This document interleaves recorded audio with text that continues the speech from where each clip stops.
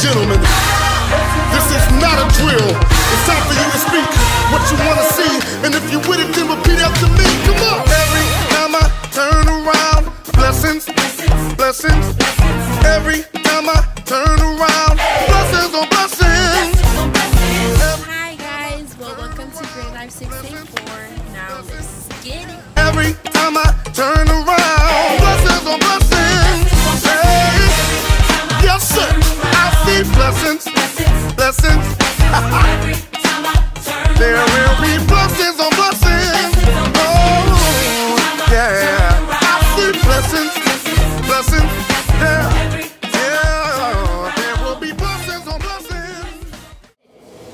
So our video is basically about people and the Great Life because Great Life is a new church, and I bet that a lot of you guys don't even know um, what Great Life is about and that it's a church, and it's actually a really fun place to be in. Guess what, guys? I made like a little beat for the drums. It's like a four beat thing. Okay, so it's.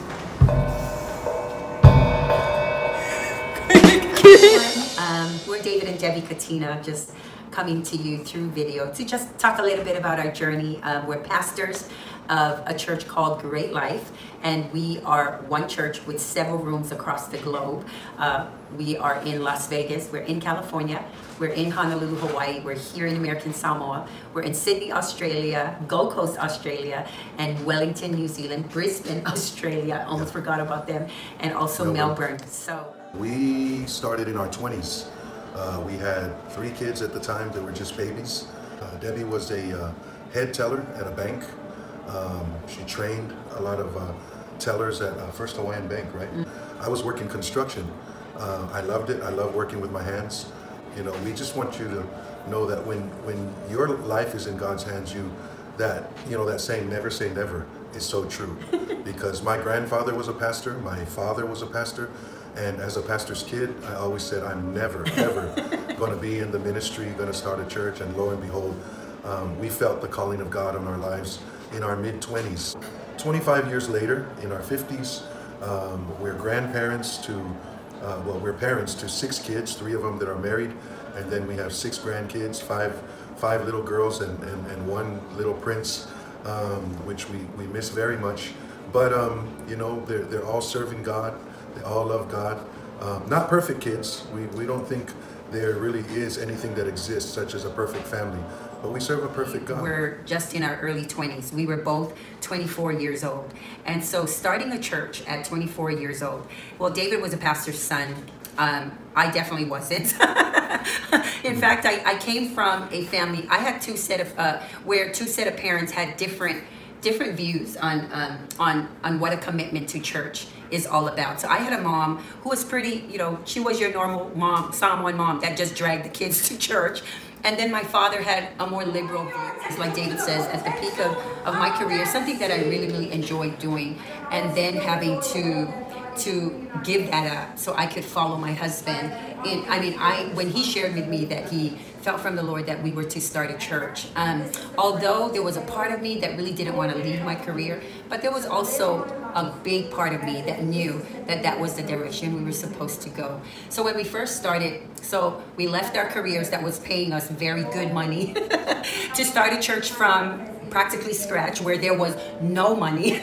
so that was a challenge in and of itself. You know, talking about those challenges, I feel like um, when you walk with God, you'll see that the highs are hidden in the lows. Yeah. Because when we were at that place where we were getting paid $50 uh, a Sunday, you know, one of the miracles that I remember was uh, it would happen at least twice a month, right? Yeah, They- yeah. We would hear somebody knock the door and uh, we'd go and open it and nobody was there, but there's like three bags of groceries, full of groceries. Yeah. And so it kept happening, and I thought, I'm going to catch this guy. I'm going to see who this is. As you know, one time I waited because I sensed in my heart that that was going to happen again. And right when he knocked the door, I opened it, and nobody was there. We really believe the angels Yeah. were, were taking care of us. Yeah. We saw miracle after miracle after miracle.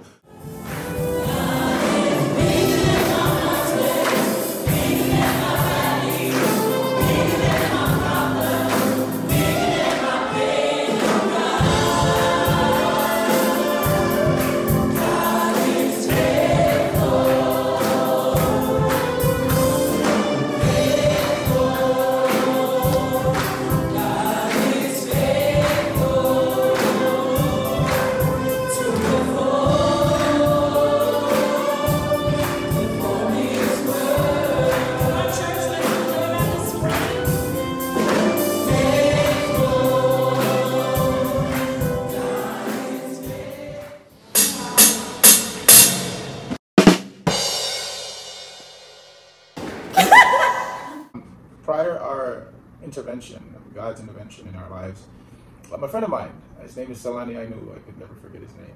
He was a, a, a high school friend who was a grade older than I was, who had the faith, or at least had the the consideration, the tenacity to come and ask me and my wife to join him at his service. And this was actually the Great Life um, 684 uh, church that had begun prior to that. And it was just something that when I when we were there and we heard the, the sermon, it just spoke out to me like as if God was reaching out and wanting to tell me something. And what he was really telling me was he wanted me to see that what I was working for was it really worth it. Um, it's what happens when we try to plan things ourselves and we try to seek success in life without God. If God is our guiding light and we focus on Him, that He is a big part of our success in life, it makes all the difference.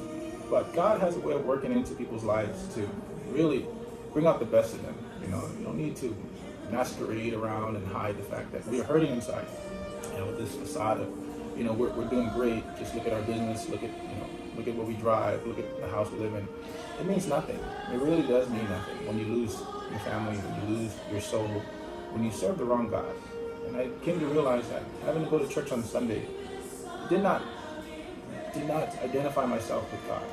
Just because I go to church on Sunday, once a week, doesn't necessarily mean that I know God. And I think having to walk this journey in life with God there side by side, and I had to find out how to know God through my wife's submission, because God knows that He can work through anybody just to get your attention. And, and so He did. And my wife had uh, taken a leap of faith to stop trying to control the situation, stop trying to um, to change change me. Instead, she had God do it. And the Lord really made Himself um, real to us, to us both. And um, I encountered Jesus first, and um, and I must say it has impacted our family so much to the point of um, I just couldn't even fathom how good God is in in both our lives. Um, you know, I'm not one to submit to my husband, but the Lord really just, you know, um, really humbled me and revealed to me that, you know, if I wanted a good marriage, if I wanted to raise children in a godly manner, that I had to submit. It really impacted um, our marriage, our children, and God is a living God, you know, and and that our journey through um, the, the church that we are in, um, Great Life Six Eight Four, it's been, you know, there are struggles and there are um, challenges, but we're not we're not promised to you know a, a problem free life as a matter of fact. You know problems are to try and test our faith so that it will become stronger. And so i'm just so thankful for the lord's intervention in both our lives and Yeah. just touching both our lives. Our faith has become more stronger. Our marriage has become more stronger as well. And we just know it's the help of, of the lord because i cannot do it. He cannot do it. No one can do it. Mm-hmm. Only god can do it with the help of of the lord in our Yeah. lives. And so yeah. I thank my wife and my, my family and my church family. And we know that we can't do life by ourselves. If you ever were told that you are to do life by yourself, that you can do it all by yourself and no one alone, then that's a lie. And I really want to let you know that you're not alone. God is always there. When you feel like you're at your loneliest and lowest parts, you, that's probably when you end up seeing God because God's just there waiting for you to reach out to Him. Seek Him. So when you pursue your dreams and when you go to college, or if your dreams are to be successful, always remember to seek God first. Have God be um, an apparent factor in your life, and that every day you spend time with Him. Because sometimes we don't know what's best for us. And if we ask God first, God knows. God created us. He pursued us even before we were even born. He came after our hearts before we were in thought of. God wants your heart. And so for me and my family, we would we would we love the fact that we spend our time in devotion every evening because we want to show God that He has our hearts and that we believe that He will change our hearts and those around us, that however way we can impact, to help them see the true meaning of what life was really meant to be. Everyone, so to you all, thanks for your time, and we hope that our story inspired you to remember that God's first in everything that you do. put god first Amen. Amen. Take care. take care I've been attending Great Life probably for about six, seven weeks now. There's a new thing happening here at Great Life 684, and it's aligning with the new thing happening with me. So God led me here, and it's been a super great experience, refreshing, answered prayers, and Pastor Debbie and Pastor David are awesome, and really, um, they really engage with with the members, and um, I think that's really important.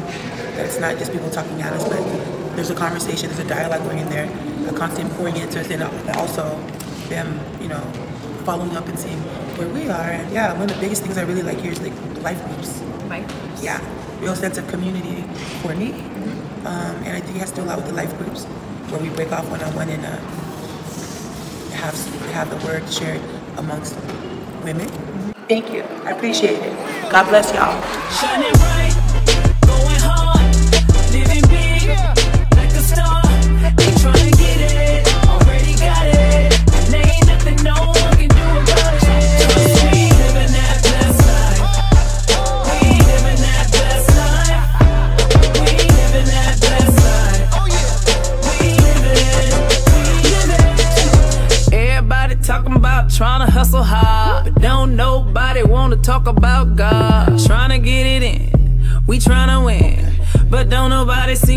Where to begin. Well, I'ma tell you something, I hope you listening. Life gets better when Jesus is your friend. You can tell him anything, he'll tell you everything. No competition, how you win it every day. Shining bright, going hard, living big.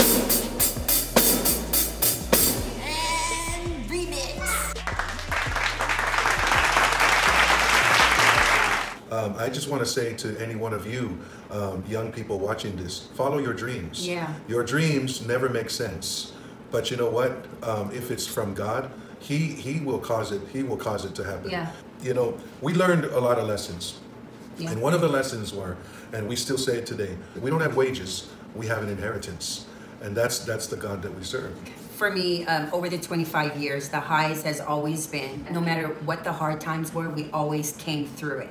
And, and that, that was always a high in all of our lives. There was struggles, but there were also so many wins as we went along the journey. I just want to encourage you, whatever dream you have in your heart, um, you know, obviously ours was to start a church that now is all over the globe. Um, but maybe yours is a different dream. But whatever that is, um, you know, don't stop pursuing it. Just keep at it and never give give up because God, who's the giver of our dreams, I tell you, you stick it, you you, you stay in there and you stay believing in faith that God gave you that dream.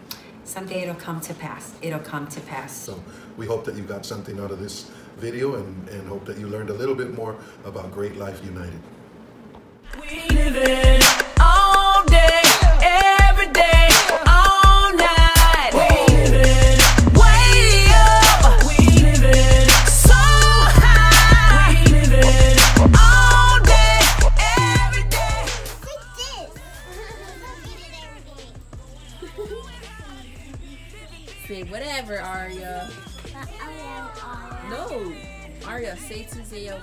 Say